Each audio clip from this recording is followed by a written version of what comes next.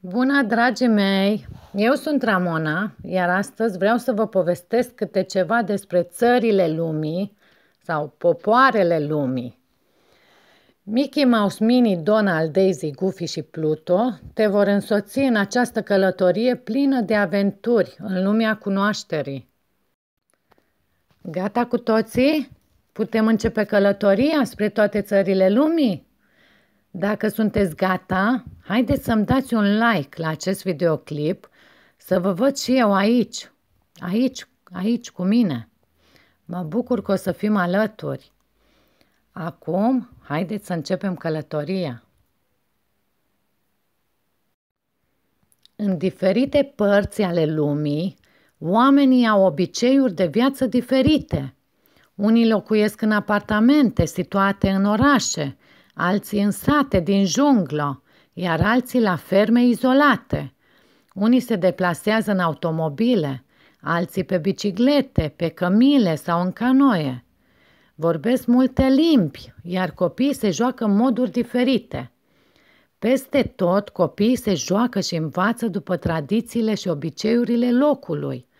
Dar chiar dacă lecțiile pe care le învață și jocurile pe care le joacă diferă de la o țară la alta, acestea au un singur scop, de a-i pregăti să devină adulții de mâine. Din spațiu, planeta noastră pare o sferă acoperită de albastrul oceanelor și de vastele întinderi de pământ numite continente – Continentele împărțite în state sunt Europa, Africa, Asia, America de Nord și de Sud, Oceania și Antarctica. Fiecare țară are propriul steag. Nordul Europei Norvegia, Suedia, Danemarca și Finlanda se află în nordul Europei. Aici iernile sunt lungi, reci și întunecoase, în nordul extrem, soarele nu apare timp de mai multe luni. În schimb, vara nu dispare deloc. De aceea, această zonă se numește și Pământul Soarelui, de la miezul nopții. În Islanda se poate face baie în aer liber, în izvoarele calde, chiar și iarna, în ciuda frigului și a zăpezii. În țările nordice, schiul de fond este un sport foarte răspândit. Inventat în Norvegia cu mult timp în urmă, este metoda optimă de deplasare pe zăpadă. În multe sate, copiii merg la școală pe schiuri. Mulți copii din țările nordice sunt foarte buni schiori de când încep să meargă la școală. Europa de Est Europa de Est cuprinde țările care se află la vest de Rusia. Polonia, Republica Cehă, Slovacia, Ungaria, România, Bulgaria și Grecia, în afară de țările în care este împărțită peninsula balcanică. În aceste state trăiesc multe popoare cu tradiții și stiluri de viață diferite, precum sârbii, croații, albanezii și românii. Viața la oraș. Jumătate din populația Terei trăiește în orașe. Multe dintre acestea au centre moderne cu bănci, spitale și clădiri în care funcționează birouri, de asemenea au muzee, parcuri, cinematografe și teatre, magazine și restaurante.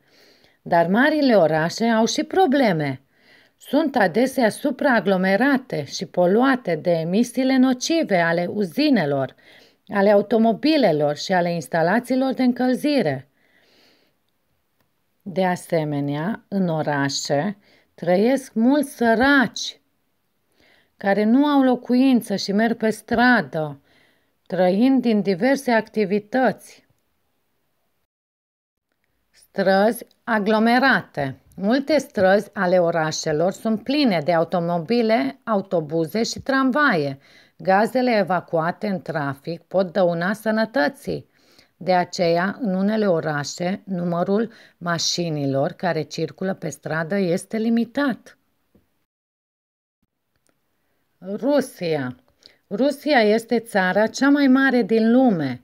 Se întinde din Europa până la Oceanul Pacific. prin Asia. Regiunile cele mai nordice, către Marea Glaciară Arctică, sunt înghețate în cea mai mare parte a anului și aproape nelocuite. Majoritatea populației trăiește în apartamente mici, în orașele din partea occidentală a Rusiei. În Rusia, vara este cald, dar iernile sunt foarte aspre. Baletul este dansul cel mai popular în Rusia. Copiii care dansează cel mai bine merg la școli unde exersează, în speranța de a intra într-o zi în corpul de dans al teatrului Balșoi, cel mai renumit teatru din Rusia. Rusia este atât de mare încât este nevoie de opt zile pentru a o traversa pe toată cu trenul, de la Moscova la Vladivostok. Asia Centrală și Orientul Mijlociu. Această zonă include țările din centrul și sud-vestul Asiei, de la Afganistan la Kazahstan până în Arabia Saudită și Turcia. Multe dintre aceste teritorii sunt deșerturi sau stepe, iar locuitorii lor trăiesc din creșterea oilor și a caprelor. Mare parte a populației este musulmană, dar această zonă include și poporul evreu din Israel. Zona indiană. În India trăiesc peste 900 de milioane de persoane și multe alte milioane trăiesc în țările vecine – Pakistan, Bangladesh, Nepal, Bhutan și Sri Lanka. În această zonă, mulți emigrează de la țară pentru a găsi de lucru în marile orașe. În fabrici se fac calculatoare și televizoare, în timp ce la sat agricultura încă se practică cu mijloace tradiționale. Viața la țară în multe țări, oamenii trăiesc mai mult la țară, în sate îndepărtate de orașe și la ferme, unde copii își ajută părinții la munca câmpului. Aproape toți copiii care trăiesc la țară fac câte ceva înainte de a pleca la școală sau când se întorc acasă. Prin intermediul acestor mici sarcini, nu numai că îi ajută pe adulți, dar învață mereu ceva despre fermă. Caută lemne pentru foc, scot apă din puț, adună animalele sau strâng ouăle. În același timp merg și la școală și au timp să se joace, ca alți copii. Regiunea chineză China se află în Asia. Are o suprafață imensă, aproape cât a întregii Europei, și o populație foarte numeroasă, egală cu un sfert din populația Terei. Pe teritoriul său conviețuiesc peste 50 de naționalități, fiecare cu limba și tradițiile sale. Țările vecine, Mongolia și Coreea de Nord și de Sud, au obiceiuri și tradiții asemănătoare. Japonia. Japonia este formată dintr-un grup de insule din Oceanul Pacific, situate la est de China, în Asia. Este o țară modernă cu multe orașe mari, Copiii japonezi folosesc cele mai performante calculatoare și călătoresc în trenuri foarte rapide, dar învață de mici să se alăture adulților pentru sărbătorirea ceremoniilor care au rămas aceleași de secole. Într-adevăr, poporul japonez îi place să păstreze vechile obiceiuri datorită cărora țara sa este unită. Japonezii mănâncă mai multe alge marine decât orice alt popor din lume. Fac din ele rulouri cu orez sau le presară peste paste. Asia de sud-est continentală. Peninsula sud-estului asiatic include mai multe țări. Myanmar, Thailanda, Laos, Vietnam, Cambodgia, Malaysia și Singapore. Popoarele din aceste țări vorbesc limbi diferite și au sisteme de guvernare diferite, totuși tradițiile sunt comune. Asia de Sud est insulară. Indonezia, Filipine, Brunei și Papua Noua Guinee sunt formate din arhipelaguri de sute de insule care se întind între Oceanul Pacific și cel Indian. În aceste țări, mulți oameni trăiesc în cătune, pescuind sau cultivând pământul. Mulți alții însă locuiesc și lucrează în marile orașe foarte aglomerate, ca Manila în Filipine și Jakarta în Indonezia. Indonezia este formată din peste 14.000 de insule. Africa de Nord. Multe țări nord-africane, ca Marocul și Algeria, se află la marginea Marelui Deșert Sahara.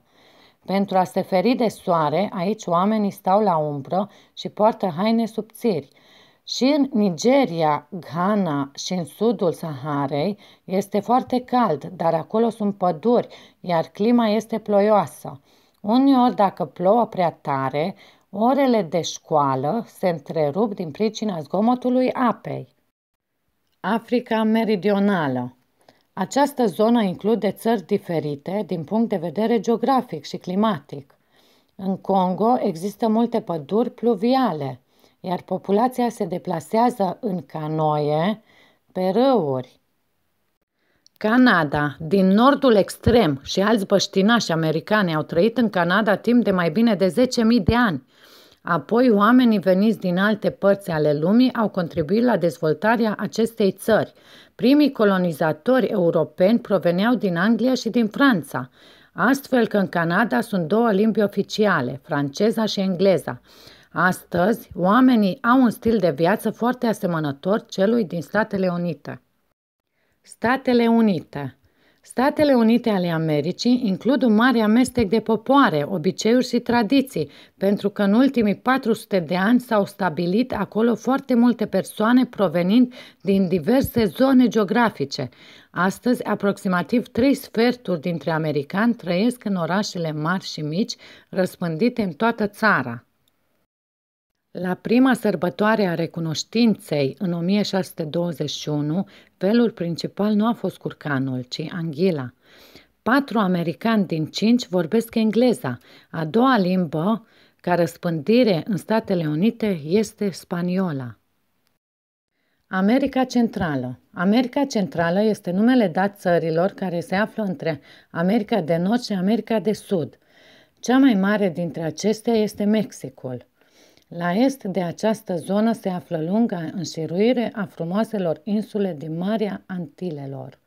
Regiunea este populată de mai multe grupuri etnice și de popoare de rase diferite, precum cele asiatică, afrocaraibiană, aroacio și europeană. Ciudat de Mexico este cel mai mare oraș din lume. Acolo locuiesc mai mult de 20 de milioane oameni și încă se extinde. În fiecare an, pe 1 noiembrie, se sărbătorește Ziua Morților. Pentru mexicani este o zi deosebită. Familiile aprind lumânări pe mormintele rudelor dispărute. Chiar se crede că în acea noapte se întorc pe pământ. Este o zi de sărbătoare în care fiecare își amintește de cei dragi. America de Sud, munții. Lanțul muntos al Anzilor se întinde de-a lungul coastei occidentale a Americii de Sud, traversând Columbia, Ecuador, Peru, Bolivia și Chile. La munte viața este grea. Este obositor să respiri aerul încărcat de oxigen și iarna este foarte frig. Pentru a se încălzi, oamenii poartă căciul și haine groase de lână. America de Sud, junglele și câmpiile. Unele țări situate la est de Anzi au un climat cald umed.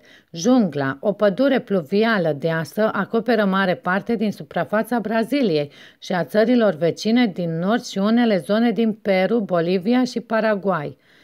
Mai la sud însă sunt câmpii întinse, pampasuri, care acoperă mare parte din Paraguay, Argentina și Uruguay.